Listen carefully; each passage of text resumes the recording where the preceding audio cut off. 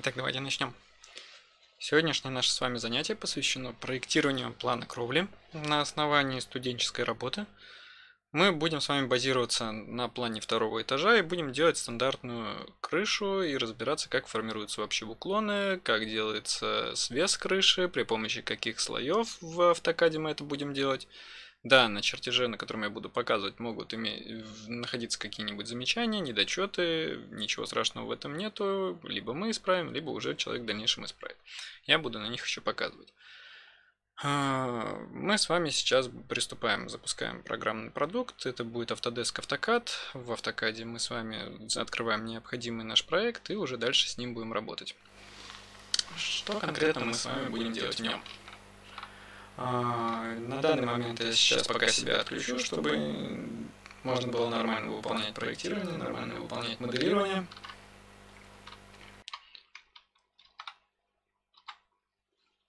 А конкретно, я буду базироваться от плана второго этажа. Что нам необходимо с вами сделать? Зайти сначала в свойства слоя, оставить только те слои, которые нам необходимы для моделирования. Проще всего выделить их всех и отключить все слои. После того, как мы с вами отключили все слои, которые, какие слои нам нужны с вами и которые мы с вами оставляем включенным? Оси. Здесь зачем-то обозначение осей тоже сделано было в отдельном слое, и на самом деле мне их придется еще найти. Вот, это круг у молодого человека был. Дальше, что нам еще с вами потребуется? Высотные отметки нам с вами не нужны, штриховки не нужны, сантехприборы не нужны, размеры на данный момент не нужны. Разделители помещений тоже, площади нет, перегородки нет, нам нужны только основные несущие элементы, а конкретно это несущие. А, нам нужна облицовка, чтобы общий контур показать. А, нам нужен утеплитель, чтобы потом от него избавиться. И пускай оставим название чертежа. С названием чертежа мы еще с вами поработаем немного.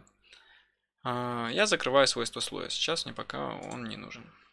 Копирую план второго этажа план второго этажа, копируем, переносим его в правую либо левую часть экрана. Я копировал просто Ctrl-C, Ctrl-V, это немножко неудобно, я хочу, чтобы они остались на одной прямой с планом второго моего этажа. Чтобы мне потом можно было чего-то нормально редактировать. Вот он мой план второго этажа. Чтобы не запутаться, я его переименую сразу же в план кровли.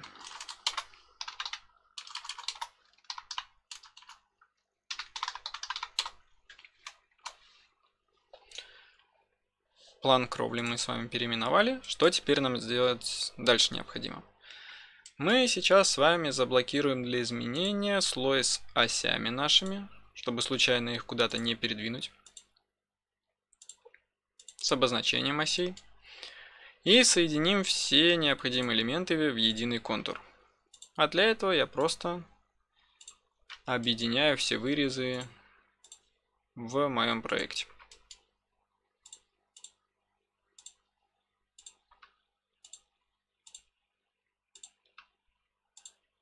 Просто объединяю все, что повырезал. Чтобы образовывалась единая коробочка.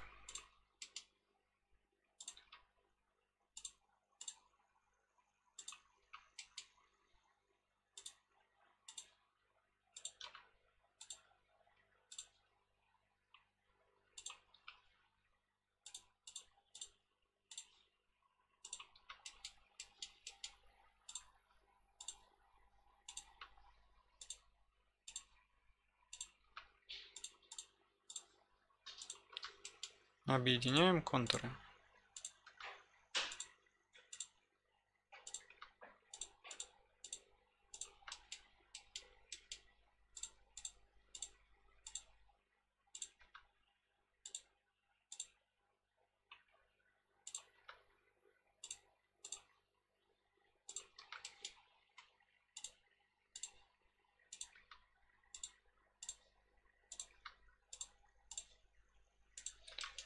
Объединяем, объединяем контуры.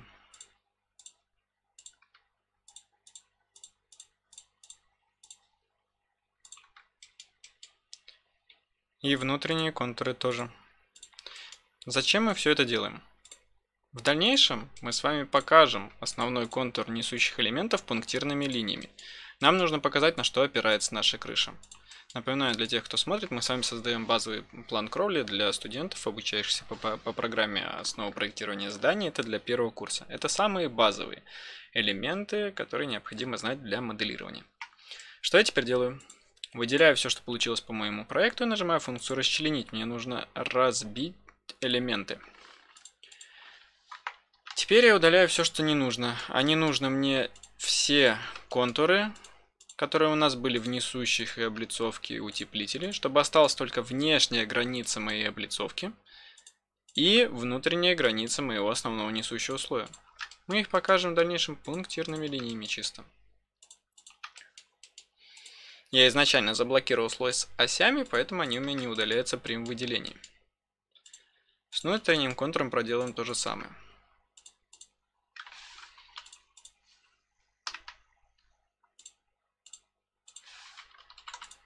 И воспользуюсь функцией обрезать. Да, работаю в 20 версии программного продукта Autodesk AutoCAD. Теперь я соединю в единый замкнутый контур полилиний.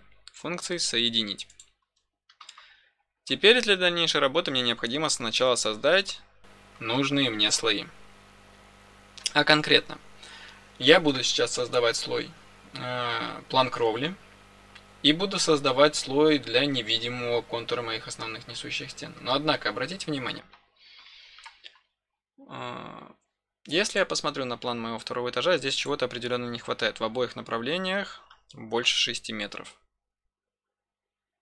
В обоих направлениях. Поэтому здесь чего-то нужно на самом деле поставить. Возможно, на плане второго этажа проще всего было разместить здесь по центру колонны. Но не суть важно. В дальнейшем уже все, кому необходимо, разберутся. Теперь что я делаю? Захожу в свойства слоя. Создаю два новых слоя. Первый слой у нас будет называться план кровли.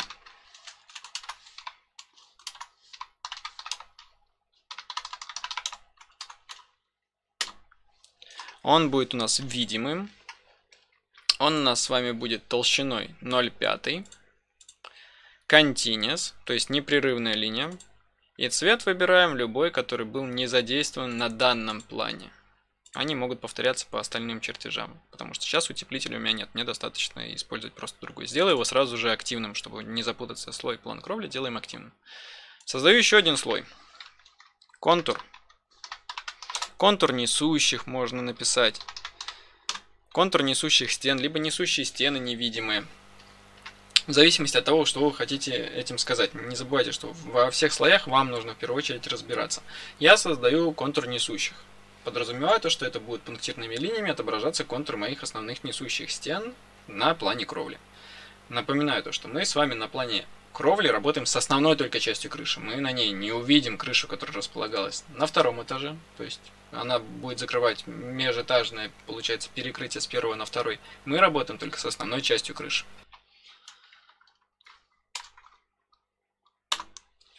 Что у этой линии? Ее можно сделать, во-первых, черной. Она уже нам не помешает. Толщина ее 0,25.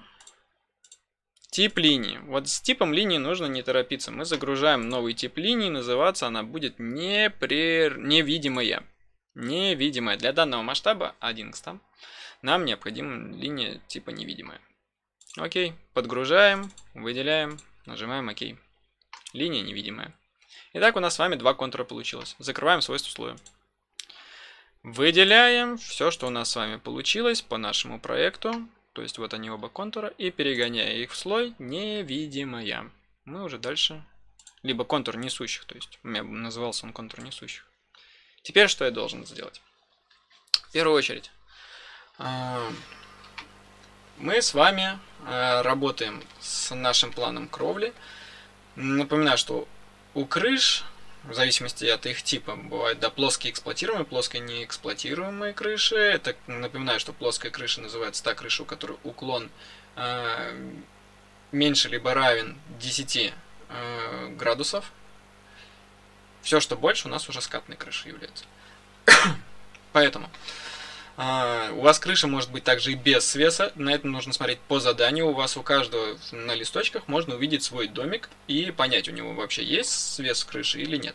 Если рассматривать базовый свес крыши, то на Moodle форуме уже было указано то, что там свес от 500 до 900 мм. Как он подбирается? Я сейчас пока себя выключу. А, как он подбирается? Если у вас достаточно маленький объект, а, то крыша со свесом 900 мм будет смотреться в большинстве своем как э, гигантский, так, э, гигантская шляпка гриба на маленьком домике. Это будет смотреться неэстетично. Вы подбираете ее собственноручно в этом промежутке от 500 до 900 мм. Если у вас домик маленький, для него лучше всего сделать маленький свес. Напоминаю, то, что у вас может быть вообще без свеса крыша. И это такое тоже может быть. Что мы делаем теперь для моделирования? Выделяю самый внешний контур. У меня объект достаточно маленький, я произведу свес крыши так, как я его вижу. Смещаю внешний контур на кратный 100 лучше делать на самом деле, но можно и кратный 50 выполнять. Я сделаю свес крыши не 500 мм, пускай будет что-то среднее, 600 мм. 600 мм.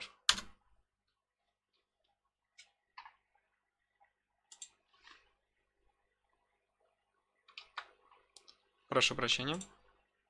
Вернусь назад. Не, здесь. 600 миллиметров. Теперь что я буду делать? Э, я выделю данный контур и перегоню его в слой, который мы с вами создали под названием план кровли. Вот он у нас. Крыша и все ее изломы будут отображаться толстыми линиями на плане кровли. Это абсолютно верно. Что нам необходимо сделать теперь? Ну, во-первых, я могу сейчас включить все слои, потому что мне они уже не помешают. И мне нужно разобраться, где у меня на плане второго этажа, скопировать точнее их, были вент-каналы. А были они в двух местах. Раз. Два. Выделю их. Сейчас посмотрю, они не заблокированы. По-моему, они заблокированы. Разблокирую их на всякий случай. Выделяю оба моих вент-канала и нахожу, за какую линию я их могу на самом деле перетащить на свой план кровли. Потому что мне их потребуется еще образмерить на самом деле. Я воспользуюсь функцией копирования после их выделения и зацеплюсь за пересечение двух осей. Конкретно это ось V и ось 1. И переношу ее сюда на пересечение оси V и оси 1. Вот таким вот образом. Что я делаю теперь? Изломы рассмотрю. Замечания сейчас я не буду вам показывать. Я рассмотрю, как будут расставляться основные размеры. Потом еще поговорим с вами в следующих видео о размерных цепях. То, что у нас с вами очень много замечаний было, особенно по предыдущей аттестации. Но сейчас поговорим о том, что необходимо дальше сделать по крыше. Вы смотрите на свое графическое изображение. Вы смотрите на свое графическое изображение. Ну, у вас можно увидеть домик, крышу целиком, либо ее часть, и представить, как они будут выглядеть, ваши изломы. Они в смысле изломы. А, да, окончательный вид крыши мы с вами сможем сделать только когда сделаем три основных фасада. Даже четыре нам нужно, чтобы потом в дальнейшем уже подредактировать крышу. Потому что, поэтому теперь все, что мы с вами выполняем, крышу, которую мы с вами делаем, она будет только а, предварительная. Итоговая версия крыши у нас с вами появится после того, как мы сделаем все фасады. А еще больше появится, когда мы сделаем разрез. Нам нужно будет каждый раз фасады и разрезы регулировать. Что я сделаю теперь? Я сейчас покажу основные изломы, если, предположим, у меня стандартная четырехскатная крыша. Процент я считать не буду. Да, вспоминаем у нас с вами процент, длина отрезка, а, на сам уклон, там смотрится у нас с вами по формуле, все это у нас было на Moodle курсе. Сейчас я только покажу направление ската и как определяется направление ската на примере двух изображений графических, пока себя вырублю. Для этого я рядышком со своим проектом сделаю стандартный вообще вид, то, что у вас у всех были проблемы. Плоская крыша, обычная крыша. Покажу ее на примере четырехскатной. Раз, два. Стандартная четырехскатная. И примере на плоской крыше на прошлой аттестации возникали вопросы, как ставить стрелочки. Я их сейчас рисовать не буду, я буду пользоваться выноской. Многие ставили, кто... Сейчас выключу ортогональное ограничение перемещения курсора. Кто так ставил стрелочки. Кто ставил стрелочки вот так. Как определить, куда уклон наших стрелочек нужно ставить? Вот она стрелочка. Но я выносками это делал, вы делаете так, как нужно было написано на форуме. Как делается этот уклон и как вообще определить? Вот это излом, линия наша основная, это, грубо говоря, ребро нашей крыши. Если я посмотрю сверху, то на самом деле это будет просто возвышенность. То есть, если я сделаю проекцию. Как вы должны запомнить? Вспоминаем горный хребет какой-нибудь. У вас вот он простирается над всей поверхностью. В итоге у вас вот это э, максимальная высота и дальше пошел скат. Если я стрелочку ставлю таким образом, подразумевается то, что вот этот угол находится выше, чем вся вот эта часть, и вот этот угол намного ниже, чем предыдущий, весь участок. Если вот таким образом, у меня вот эта самая максимальная часть, самая высокая, тогда излом немного некорректен. Тогда у вас получается вот эта плоскость от этой плоскости будет вообще никак не стыковаться, вот здесь ребро, ступенька получится. Поэтому если я делаю излом по центру, то как я буду показывать направление движения ската?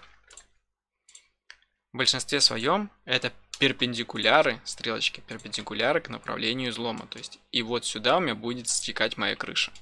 Ой, вода с крыши. Вот сюда куда-то будет стекать моя вода с крыши. Достаточно всего лишь одной стрелочки на плоскость уклона. Представляйте всегда, что вы изображаете. Если рассматривать стандартную четырехскатную крышу, то... Ой, не той стороной.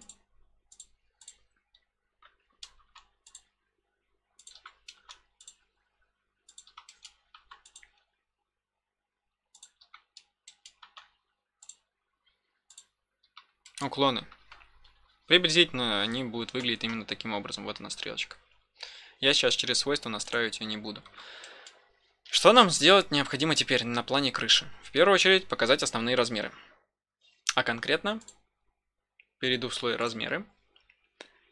И буду расставлять основные линейные. О размерах я еще поговорю в другом видео, в котором будет рассмотрено все ваши основные ошибки, которые возникают. И через аннотации функция продолжить я расставлю остальные размеры. Излом. Габаритная цепочка. Здесь она предельно простая. Раз, я ее сразу же расставлю со всех четырех сторон. Два. Три.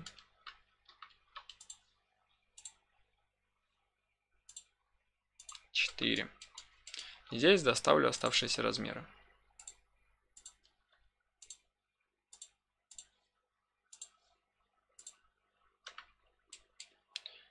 Теперь то, что касается нашего вент-канала. Мне нужно показать Габарит вент-канала. Прошу прощения. Я забыл, что у меня размер уже я проставил, а новый не привязал. Габарит сам вент-канала и привязка вент-канала к ближайшей оси.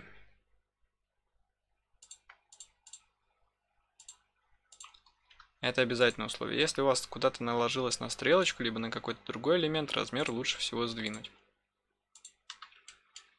Дальше. Если есть возможность на чертеже показать эту привязку с двух сторон, ну, чтобы строители знали, где у вас вторая грань располагается.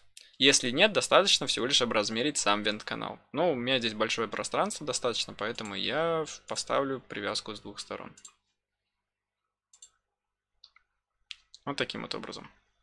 Мне нужно так сделать с каждым вент-каналом. Раз.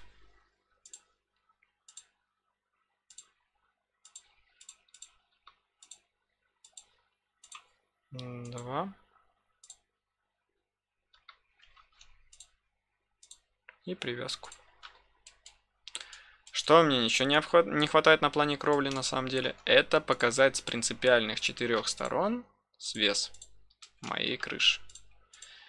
Как вы помните, я ставил 600 миллиметров. В данном случае с 4, потому что у меня крыша на самом деле достаточно простая. Если у вас крыша какая-то ломаная, имеет сложную фигуру, со всех основных изломов вам нужно поставить вес вашей крыши.